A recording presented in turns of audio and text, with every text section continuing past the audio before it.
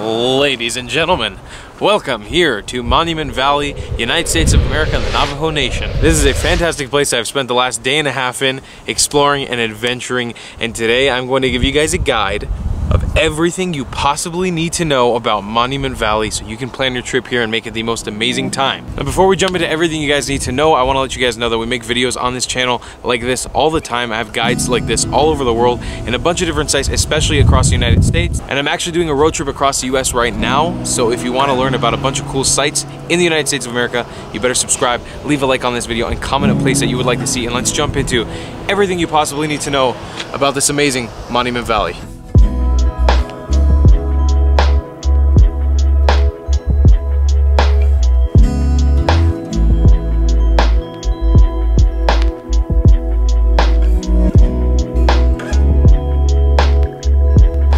Way that I tend to do these guides is that I break them up into sub-subjects. We'll start off with location.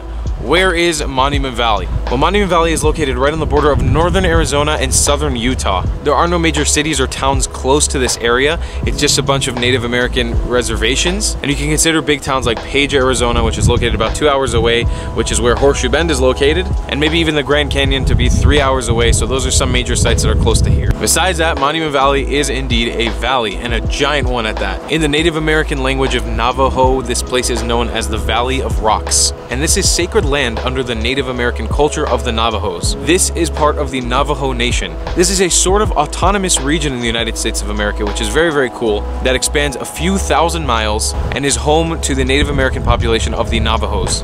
We're gonna get into that a little bit later, but that's kind of the region that we're working with here. The location is indeed part of a desert slash shrubland environment. This is characterized by the giant red rocks and formations that are right behind me, red sand, orange sand, white sand, and everything you can expect to find in a classic desert, but also tons of greenery in the area. There are actually tons of sites within the actual Monument Valley that you can hit up, and we'll talk about those a little bit later as well, but that's kind of an idea of the location that we're in. All right, moving on from locations, let's jump into costs. How much will it cost for you to come visit Monument Valley? So the cost to actually enter this here road of the border between Arizona and Utah, where you can see everything pretty much for free, is free. It doesn't cost you anything to actually just drive into here, into Monument Valley.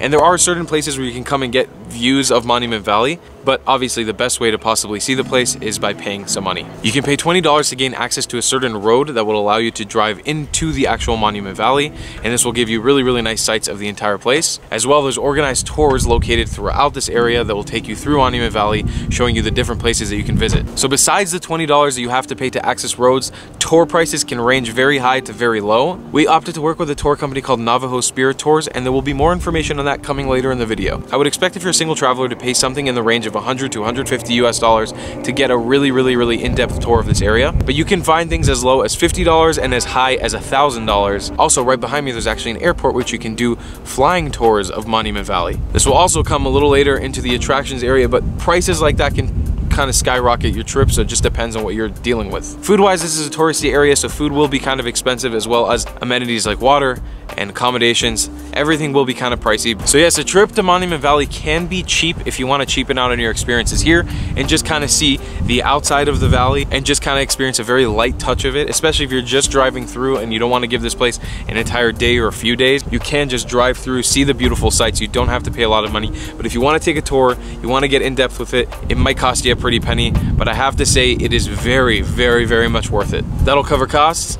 Let's jump right into accommodations. So, as for accommodation, this place is very interesting because it's located on Navajo land. Now, the Navajos have very specific ways that they guide their land and the way they like to keep their land, and so there's certain rules and regulations, especially when it comes to camping or setting up tents anywhere. There are a lot of rules and you want to adhere to those rules because you obviously don't want to get fined and in trouble, and you want to respect the people and the culture here.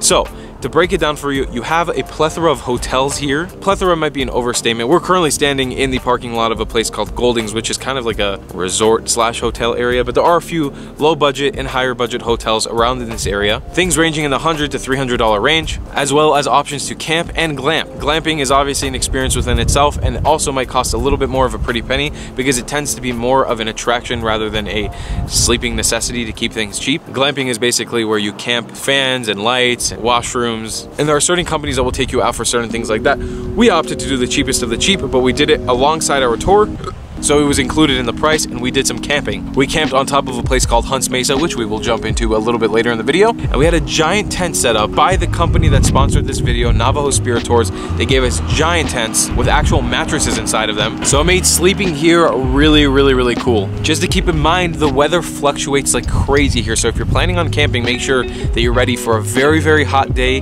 and a very, very cold night. If you're coming here in the winter, you can expect snow as well because this is a high desert located at the elevation of about 6,000 feet. So if you're coming in the winter, be prepared for snow, be prepared for the weather, especially if you're camping. If you're coming to stay in a place like a resort or a hotel, you're all set, you should be a-okay. But that should cover accommodation. Let's jump into food. Food, you may be asking yourself, what kind of food can I expect here? Well, because this is Navajo land, you can actually expect Navajo dishes. I don't know many off the top of my head, and information has been kind of scarce on getting Navajo food, but one thing that I can definitely recommend to you guys when it comes to food that you have to try in this area, don't stick to the classic hamburgers, don't stick to the milkshakes and french fries and hot dogs, break out of your shell a little bit and try a Navajo taco. We actually just had Navajo tacos here at Goulding's and they were absolutely amazing. Navajo tacos basically consist of Native American fry bread and fry bread is a classic Navajo dish. It's basically like a giant fried pita. It is really soft and really delicious, very oily as well. And inside is chili con carne, beans, meat, lettuce, tomatoes, salsa, and it's just a very hearty and healthy and delicious meal. Well, I don't know about healthy when it comes to the fry bread, but it is very delicious. As well, you can expect things like blue corn mush. Blue corn mush is kind of like a, a cornmeal mush with made with blue corn. It's very delicious. As well, Navajos actually pride themselves on eating things from the wild. Things like yucca, which is a boiled kind of root from the inside of a plant, and even some Navajo tea. Also, a few other things that might be found in this area that might be slightly less authentic. Things like a Sonoran hot dog, and another sort of dish I forget how to pronounce it. I think it's called chiquichilim? Chiquichilim? Chilchin. The chilchin. Yeah. I don't know how to pronounce it exactly, but it is a sort of mush as well that's very sweet and delicious, like a type of porridge, and it's made out of some of the local plants here. These are all things you can learn about when taking a tour, especially with a tour company like Navajo Spirit Tours. Let's jump right into the attractions. What should you do when you're here in Monument Valley? Well, when you're here, the attraction is the nature, obviously, the actual Monument Valley, which you can see behind me, which is made up of these giant pillars. And just a little bit of information for you guys, this thing was created over millions of years. Most of what we see right now was underwater. All these spires and crazy things that are sticking out of the ground behind me, they were all underwater at some point millions of years ago. There are even places our tour guides took us to show us when millions of years ago things started rising above, dinosaur footprints on sandstone slabs. It's a very surreal experience to be looking out and imagining all of this under hundreds of meters of water in an ancient prehistoric sea filled with crazy life. So obviously with that little message of geological wonder, you might be wondering to yourself, where can I learn more about this? And that's by taking a tour. That is the number one thing I recommend you do if you come to Monument Valley. There are obviously a bunch of tour companies in this town, but I recommend to you Navajo Spirit Tours. They are the company that we actually worked with on the video series here. We got to learn about the culture and see the sights, and we actually opted in for the Hunts Mesa tour. This was a tour where we got to go camp on the top of Hunts Mesa, which is a mesa in the middle of Monument Valley, a beautiful red rock where you can oversee the entirety of Monument Valley at sunrise and sunset. You take an amazing off-roading tour that lasts about two hours both ways. It's four hours of off-roading and all your food, accommodation, supplies is all carried on by your tour guide with the truck that is brought up to the top of Hunts Mesa. You really get to learn about the culture, you get to learn about the plants, the environment, the history of this place, the geological formations, and even more. So I highly, highly recommend the Hunts Mesa overnight tour if it's something that you're interested in doing when you're here in Monument Valley. Besides Hunts Mesa, there's also a place called Mystery Valley. Mystery Valley is also located within the Monument Valley area and is another tour that you can take. The company that we work, Navajo Spirit Tours, actually does an overnight for Mystery Valley as well. And last but not least, obviously, when you're here, one of the main attractions is the actual Monument Valley itself. Pay $20 enter the park, or even take a tour with Navajo Spirit Tours to take you into Monument Valley, sunrise, sunset, midday, whatever it is that you want, to see the beautiful colors and experience the rocks and the geological formations as they were meant to be.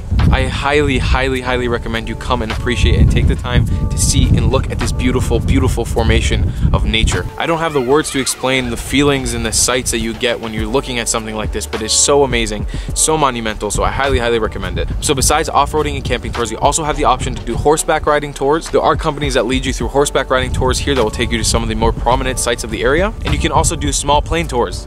Kind of like the planes you see in the airfield behind me. Well, actually, I'm not really sure if you can really see them, but occasionally hanging out here, you'll hear the overhead plane flying around, and I'm assuming that looking at this place from overhead from a plane could be amazing. We got to obviously see what it kind of looks like overhead with a drone, but I'm assuming with a plane flying around and freely flying is probably a really, really amazing experience. So that's another option for you if you're coming here as an attraction. And last but not least, one of the major attractions to this area, and this place is renowned, world renowned, and renowned across the United States for, is stargazing. Stargazing here is absolutely incredible. Not only do you get to see the wonderful formations, but you get to see an open plethora sky of stars at night. There are almost no artificial lights in the area, and you can look around and see amazing, amazing stars and clusters of stars. We actually got to see the Milky Way with our bare eyes last night. Stargazing in this area of the United States of America is amazing as is, but in Monument Valley, it makes it even more amazing, especially if you have a good camera that can capture pictures like this while you're stargazing with the formations and the rocks and the amazingness that is Mother Nature. So definitely when it comes to attractions, come experience stargazing in Monument Valley. That'll cover attractions. Now let's talk about people. Who are the people that you can expect to find in Monument Valley, but more necessarily the Navajo Nation? Now I wanna give you guys a heads up before we continue. I actually did a whole interview with a member of the Navajo tribe, so I wanna make sure that you guys check that out if you wanna learn a little bit more about it. I'll give you guys a quick summary of what you can expect. The Navajos are very, very in tune with nature and they're all over here, especially in this area of Monument Valley. You can find them all across from the Grand Canyon though and Page, Arizona. They're really everywhere here because this is their homeland, this is their mainland. When you enter these places, a lot of them are sacred sites to the Navajos, so you wanna make sure that you're as respectful and you're taking care of the land. You wanna leave it as you found it. But the Navajos are very friendly and respectful people, especially if you get a chance to sit down and have a conversation with one of them. They speak the language of Navajo, which is a traditional Native American language, and it traces back thousands of years. They indulge in the dishes of the Navajo cuisine, like we spoke about a little bit earlier, and a lot of them work here on the reservations, off the reservations as tour guides, hotels managers, gas station operators, convenience store operators, and general facilitators of upkeep of this area, making sure that it looks as pristine and is saved for generations to come. And that should cover people of the Monument Valley area. All in all, Monument Valley is absolutely insanely, mind-bogglingly amazing. This part of the United States of America has been a crazy eye-opening experience just to see and appreciate how beautiful this country is. There's so much history, not only spanning back into Native American times, but millions of years ago into the prehistoric age. There's so much to see and do here, and the tours here will absolutely blow your mind. So please come out and visit Monument Valley. Check it out for yourself. See it with your own eyes. Do not skip out on the opportunity to experience this before you die. And please, if you do come into the area, check out Navajo Spirit Tours down in the description below. Contact them and come on a tour and let them know that Clatt sent you so you guys can receive all the love and fun that we did when we came on a tour with them. And if you guys missed our video of actually filming the tour to the Hunts Mesa tour that we did, where we did the overnight camping trip, make sure you check that out. Make sure you check out our interview with a Navajo member of the tribe, our tour guide, which is also an awesome human being. And that's gonna be it for this everything you need to know about Monument Valley, Arizona. I'm gonna see you guys in the next video. I wanna remind you guys to subscribe and turn on those notifications so you don't miss a single video because one, I make videos like this all the time, travel guides all around the world, and I'm actually road tripping across the United States of America right now. So there's so much more content to come from the US. You don't want to miss a single video that's going to come out of this channel. And make sure you check out the other videos on this playlist that are through this road trip through the United States of America. Don't miss a single one. And we're going to see you guys in the next one. I love you long time. A goodbye, Clatts.